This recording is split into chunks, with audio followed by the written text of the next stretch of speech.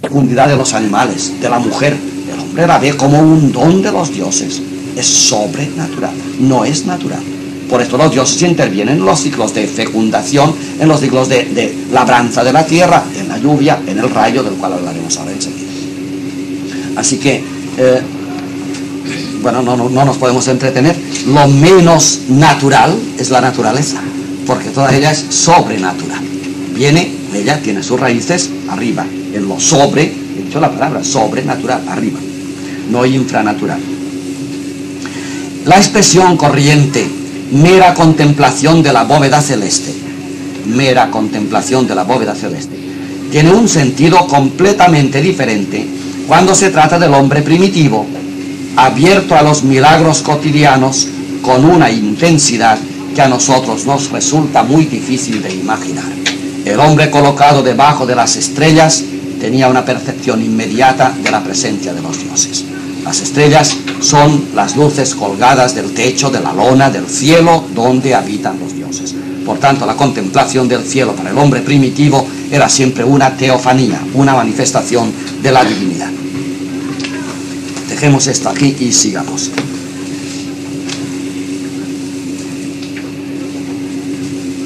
Si los dioses están arriba, en el cielo, habrá unos dioses o Dios, no interesa ahora, trascendental y supremo. Pero sin embargo se puede preguntar ahora, ¿y los dioses tienen caminos desde arriba abajo y el hombre tiene caminos desde abajo arriba? ¿Se puede ir de la tierra al territorio de los dioses y se puede ir de la patria de los dioses a la tierra? La respuesta de los persas y de los griegos es sí de arriba abajo se viene. Son los, hay una palabra española que nadie sabe porque se usa muy mal, los dioscuros. Los que saben religión saben lo que son dioscuros. Pero eh, dioscuros no dice nada si no se escribe como toca.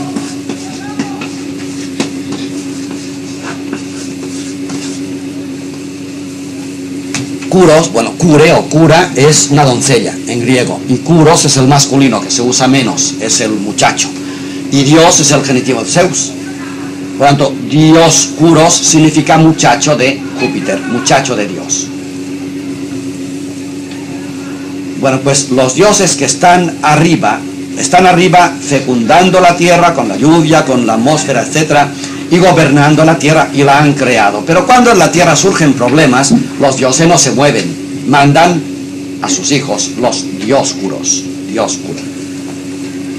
Y estos hijos de los dioses, por tanto hay caminos de arriba para abajo, estos hijos de los dioses vienen, se entretienen con los hombres, toman apariencia humana, le resuelven los problemas y se van otra vez para arriba. Hay un dios puro famoso, se llama Jesucristo. Es sobre esta línea. No digo que signifique nada más que esto. ¿eh? eh Eliade, cuando veía caras raras al hablar de esta manera, el que es cristiano, decía siempre, hay que entenderse, si tú miras a Cristo desde las religiones de la tierra, serás sincretista, dirás, Cristo es un fundador más, una religión más, y te equivocarás.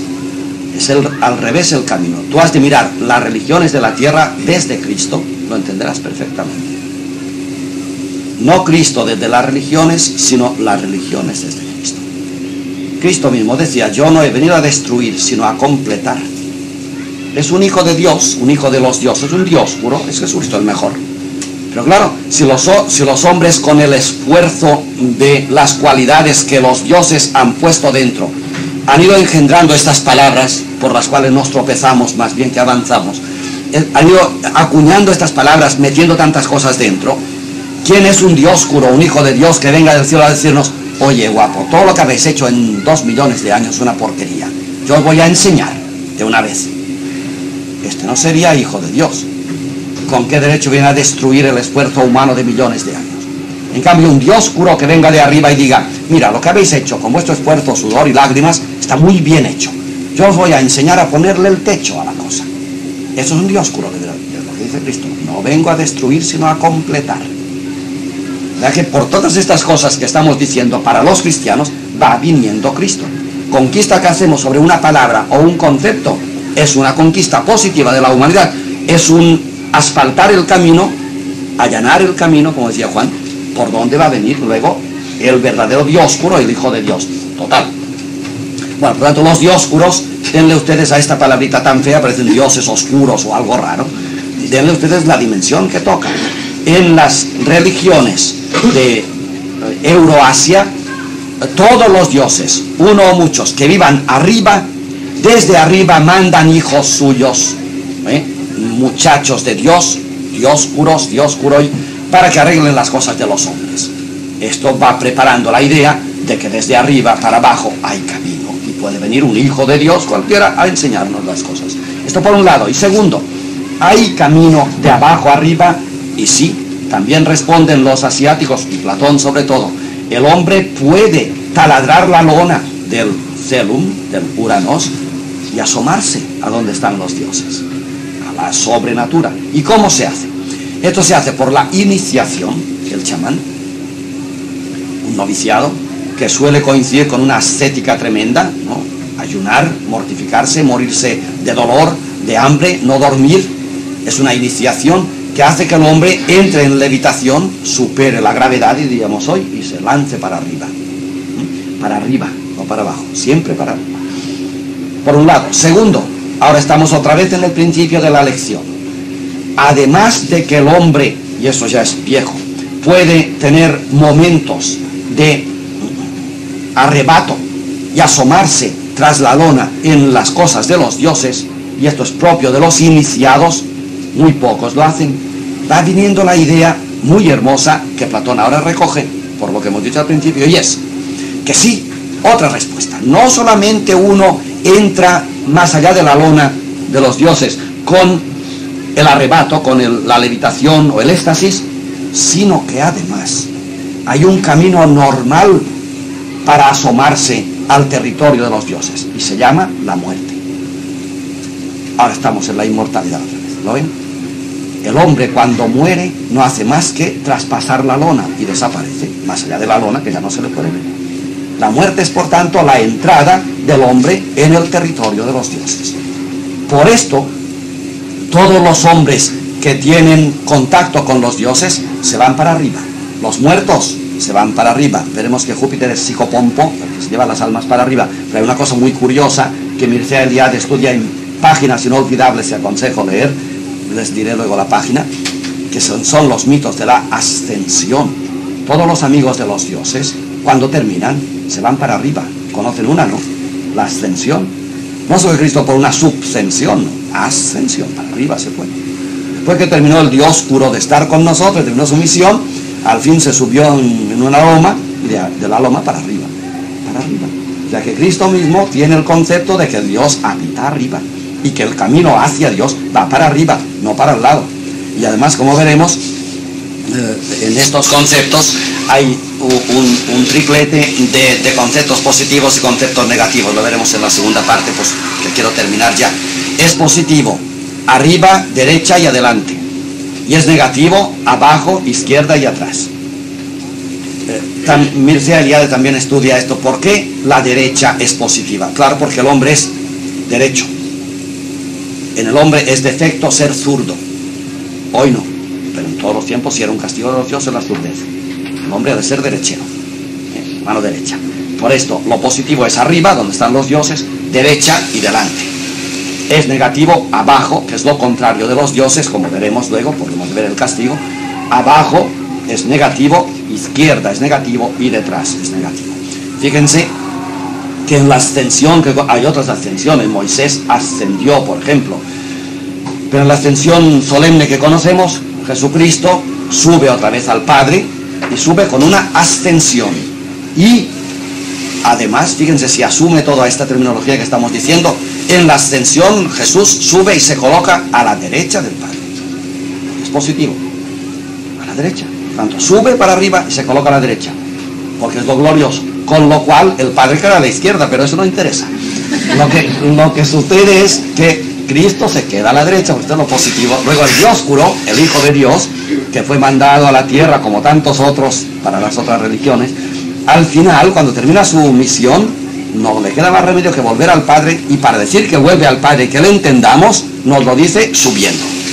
Si los discípulos que pertenecían a esta cultura como nosotros le hubiesen visto bajar, se hubiesen asustado todos. No, es- concebible, piénsenlo ustedes. Y que venga todavía algún predicador y diga, ¿qué Cristo para arriba? Cristo fue para abajo. ¿cómo para abajo? ¿Al infierno? ¿O es que el infierno está abajo? Claro, si los cielos están arriba, lo contrario está abajo. El infierno está abajo. Y infernus es lo contrario de ipsos, justamente. Es lo de abajo. Esto lo diré en la segunda parte. Bueno, ya tenemos pues que eh, a los dioses se puede llegar y se puede llegar por una ascensión, aquí un caso, pero hay una ascensión que va conquistando territorio y que en Platón ya es universal. La ascensión se da en la muerte. Todos los hombres, los mortales, llegan a, ta- a taladrar la lona de la divinidad y entran en el cielo, en el Olimpo, tras la muerte. La muerte, por tanto, es siempre una ascensión es una entrada con los dioses. Y claro, como los dioses arriba son inmortales, el que entra arriba en su territorio se hace inmortal. Por tanto, el descubrimiento de la inmortalidad se hace por el descubrimiento de que los hombres pueden y logran con la muerte entrar en el territorio de los dioses donde la muerte no existe. He aquí la inmortalidad. Ahora estamos otra vez al principio de la lección y pienso que hemos cerrado el ciclo, ¿verdad? Miren por dónde y con qué esfuerzo de siglos la humanidad, nuestros abuelos, llegaron al descubrimiento de la inmortalidad. Claro, dicho como lo he dicho, me figuro que la pregunta eh, está aleteando entre sobre todos. Bueno, ¿y qué garantías tiene esto de ser verdad? Si con tanto esfuerzo la humanidad que no sabía nada de esto fue logrando imaginativamente decir que el hombre taladra la lona de los dioses y al final se mete con ellos, como con ellos no hay muerte, ahí se queda inmortal. ¿Qué garantías hay de que sea verdad?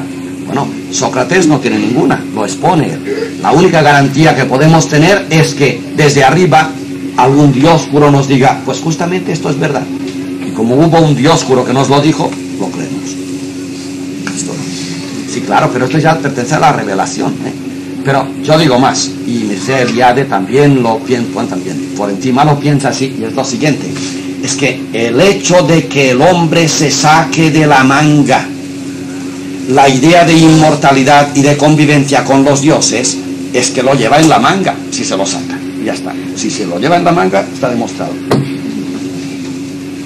El hombre no es capaz de inventar nada que no sea verdad. Esto se debe decir, lo que pasa es que filosóficamente es muy peligroso, es el argumento ontológico de San Anselmo. Dejémoslo, no me interesa.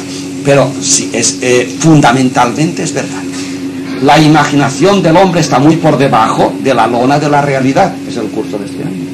Pues todo aquello que el hombre puede imaginarse es verdad, de alguna forma y en algún lugar. Bueno, me, me parece que he dicho todo lo que quería decir hasta esta mitad de la parte. Podemos hacer un poco de recreo si les parece. Bueno, digo una idea que me servirá para empezar luego. Entonces, a los dioses se llega por iniciación, por ascensión en caso de que ha habido descenso, ¿eh? y por muerte. La muerte nos ingresa en el territorio de los dioses, que son inmortales, y nos hace a nosotros inmortales. Y ahí viene la idea. Entonces, a ver, cuando la filosofía griega ha descubierto que el hombre, ya pero como hombre, como todo, como masa, el hombre tiene un destino, el hombre llega a la tierra de los dioses, por lo menos con la muerte, puede haber llegado antes con una iniciación, por ejemplo, pero por lo menos con la muerte llegan todos. ¿Cómo les parece que dirá el griego que se llame esto? Vuelvo atrás. ¿Se puede llegar a la tierra de los dioses?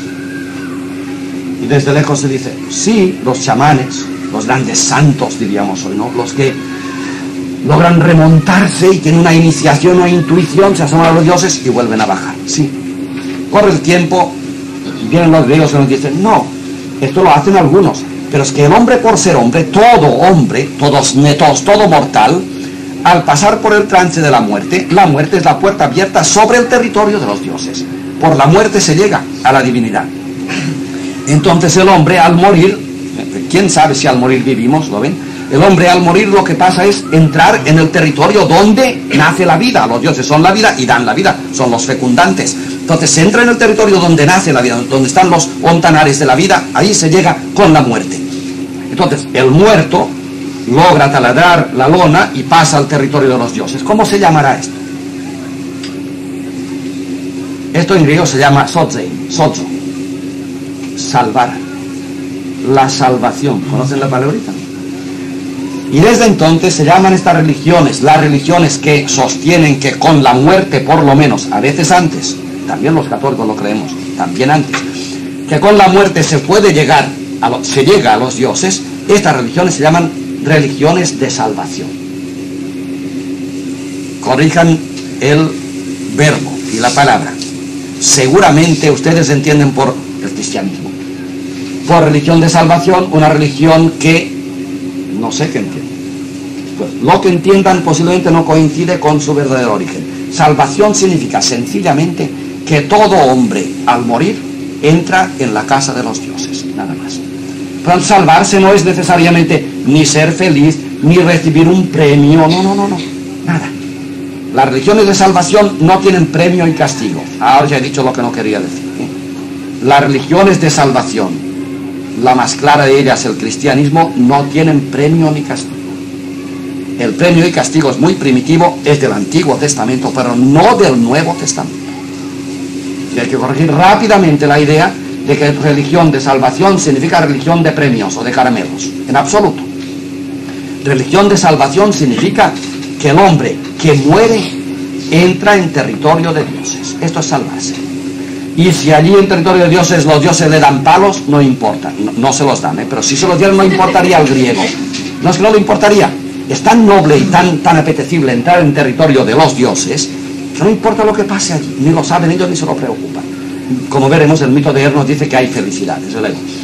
Pero nada más. Basta llegar a los dioses. El que llega a los dioses es un salvado. Estas se llaman religiones de salvación. El judaísmo lo es en el final, el magometismo, el cristianismo, son religiones de salvación. Te repito, hemos de corregir la palabra. ¿eh? Salvarse significa ir a parar a la casa de los dioses, sin más. ¿Y allí qué hay? Café, palos, eso no importa, no importa. Lo que importa es que vayas a parar a la casa de los dioses. O sea, concretamente, religiones de salvación son religiones de inmortalidad. Al morirte, llegas al territorio donde ya la muerte no te puede coger otra vez. Eso es todo. Esta es la salvación. Si, si quieren una pequeña propina, nacida de esta, de esta idea que nos interesa ahora la clase, es interesante que hay un paso más. Y repito otra vez para que quede, y perdonen tanta reiteración. El hombre vive en la naturaleza, que es toda ella sobrenatural. Ya.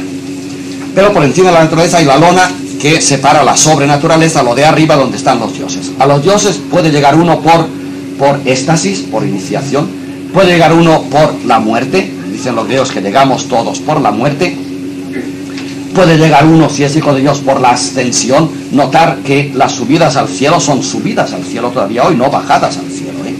Y por ejemplo, la, el asomarse a los dioses que se hace con la mística, se dice de una forma muy curiosa que el mejor místico lo dijo así, que San Juan de la Cruz, la subida del Monte Carmelo, no la bajada. ¿eh? Bajando del Carmelo no se va a ningún sitio, es subiendo. y Moisés, cuando se encuentra con Dios, se encuentra con Dios en la cima del Sinaí, arriba. Porque las montañas tienen la puntita que asoma en la lona. ¿eh?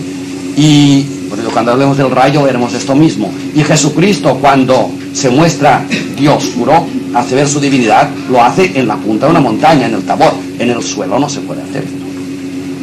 Sí es importante la idea de su vida. Y cuando se va al Padre, para decirnos que se va, usa el lenguaje eh, mimético, no de palabra, que es de subir. Le ven que sube. No significa que subiera o no subiera, le ven que sube.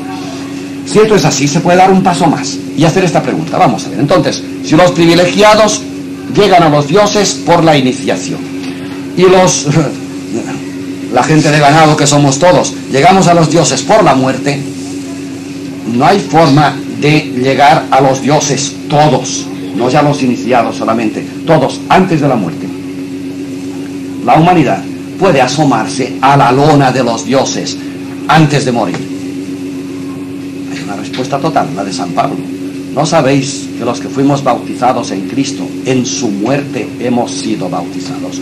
Por tanto, ya hemos resucitado lo que los griegos dicen que pasa con la muerte, al morir, los cristianos lo pasan al ser bautizados, según Pablo. De forma que el cristiano, una vez bautizado, ya está en territorio de la divinidad. Y toda su vida transcurre más allá de la muerte. Por esto el cristiano al morir no muere, como dice Cristo, porque se ha muerto en el bautismo.